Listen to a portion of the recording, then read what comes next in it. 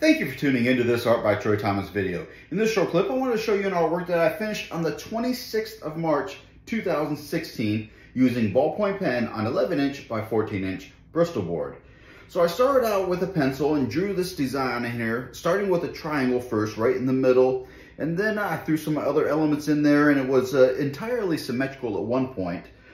But then I decided to erase a few lines, couple key areas there and then uh, came up with this design and I really like the way it looks. I mean, it's still kind of symmetrical, but technically not entirely. So uh, when I was finished, it kind of reminded me of a military emblem. So I named it Valor. However, looking at it today, it kind of looks like it could also be uh, a logo for a rock band.